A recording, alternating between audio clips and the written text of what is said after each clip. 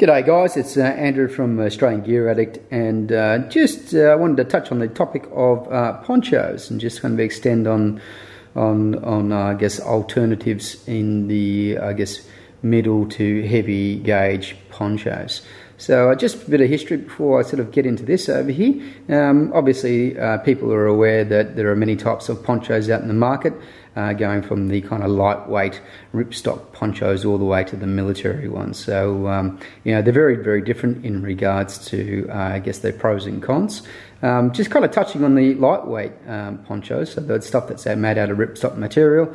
I mean, it's great in the sense that it's quite light and it's, you know, weighs about 300 grams, so it's, it's quite a, a lightweight product. Um, but it's really kind of not designed for you know uh, walking around in kind of heavy torrential downpour or in the bush. So um, you know when you kind of put that product in that environment, i.e., in heavy rains, um, it sort of kind of functions a little like kind of glad wrap, you know, so it creates a real sweat box. But look, you know, if you're if you're in a in a, I guess, a, a, rainy environment, you know, mountaineering or whatever it is, and you're only getting exposed to, you know, half an hour's worth of rain, um, you know, it certainly serves that, that purpose particularly well. And I think that's the big difference between the kind of heavier gauge materials generally and that lightweight stuff because the heavier gauge materials can you know kind of sit off you a little bit more so it kind of provides your body with a little bit more kind of breathing space so um, before I dive into uh, these two uh, versions or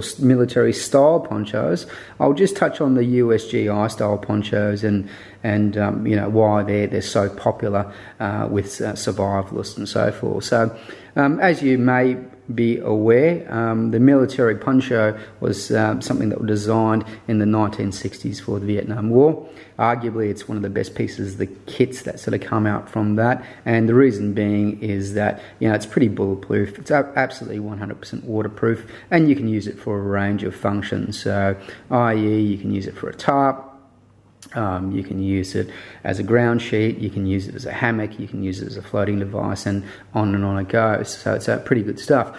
Um, the only sort of downfall about that sort of original design, uh, in my opinion, um, is that it doesn't have sort of kind of you know some basic things like a you know a, a rain beak on the hood. So you know if it does rain pretty heavily, um, you know you, you get a face full of water, um, which is not very nice. Obviously, very easily resolved by having a cap um, but then your beak your cap gets wet. So mm, I'm not sure why they haven't sort of um, I said improved that design from there. But uh, if you're looking at military ponchos on the market, you'll find that a lot of them these days will have beaks. So that's good news. Um, but anyway, uh, I'm digressing a little bit. Let's get back onto these two things over here. So what you're seeing over here is a USGI styled military poncho. Um, the genuine military uh, poncho uh, basically is roughly about 600 grams. These particular items over here are a little bit lighter at about 500 grams, but the materials themselves uh, are absolutely bulletproof, absolutely solid. Uh, this one's over here, um, you can use as a, as a tarp or a hammock. I've already done a review on this, so if you want to check it out, just click here. Uh, but the purpose of this discussion is for those people who want that sort of medium to heavy gauge uh, ponchos, but don't necessarily want one to serve all those functions and maybe want ones to, to save just a little bit of weight. This is actually slightly lighter than this, but not by much. Um, so here it is. So, you know, if you're not going to use a poncho uh, as a tarp or a hammock, uh, this might be potentially the product for you. So um, this product, uh, it comes from China, like everything does these days, and uh, it's made out of uh, 600 denier nylon ripstop.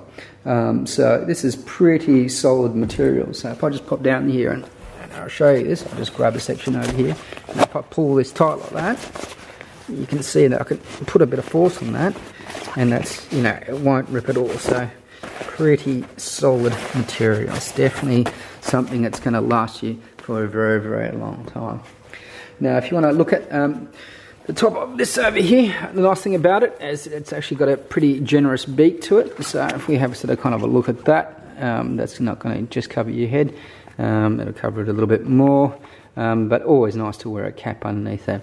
Uh, in regards to the material, as I said, it's pretty heavy duty, uh, it's pretty waterproof. Um, the product has been um, seamed sealed with some tape over here. uh, as you can see. And in regards to this over here, guys, this is actually a burgundy type colour. It's not, it's not really pink. It's sort of kind of showing up a little bit pinkish um, in in the video, but that's uh, that's uh, not really a, a true uh, reflection of the colour itself. It's more the burgundy colour. So just to let you know. Um, like most ponchos, comes with a cinch you can tie up, obviously. Uh, it opens up over here so you can get some air, some air control through here and as, as you can tell over here the uh, quality of the actual stitching uh, isn't too bad considering the price point. Now the nice thing about this particular poncho that it is form fitting. So as you can see over here it does curve with your body um, so what, what, what that means is that if you're walking through some heavy scrub or if you've got a lot of rain sort of going down sideways, it is going to bead a little bit better. So, um, you know, that's the nice thing uh, about this particular style of more form-fitting ponchos.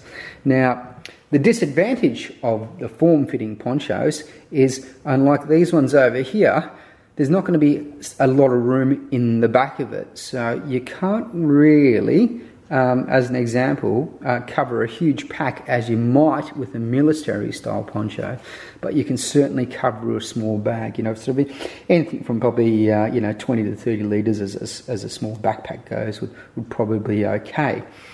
Um, at the front um, of this particular poncho, you will notice that there's again there's a little bit of form sort of kind of fitting stuff on the side over here, but the designers have very cleverly actually shortened the back of the actual uh, poncho itself. So this is the front over here, and as you can see, it's a little bit longer than the back. So pull that back over there like that, yeah, so it's, it's short at the back, and, and the reason why it's shorter at the back is that when you're in a kind of torrential rain or downpour situation, the last thing you want is basically a bit of flappy material. It's kind of slapping at the uh, the back of your calves. Um, not a very nice experience, but you know if you're wearing a big pack on a, on a military poncho, that's kind of being lifted on the uh, on the back anyway. But uh, because obviously you, know, you can't carry a big pack that'll shift the back of that material up, that's a kind of good little design inclusion in there. So, just in regards to weight, as I said before, this is roughly about 500 grams. Very similar to the other sides over here. Comes in a nice little flat pack. Nice and thin, just like that. Fits easily under your car. You know, you can put it in your backpack. If you wanted to roll it up, you can. It's pretty easy. It certainly tightens down uh, pretty quickly. So if I'll just, I'll just show you that there. So like that, and just to give you some idea in regards to size, so that's a, a US uh, bum bag, so you know fits in there very very easily. You probably chuck two or three in there without too much trouble. So, guys, uh, there we are. Just a bit of commentary on some ponchos, um, some poncho alternatives.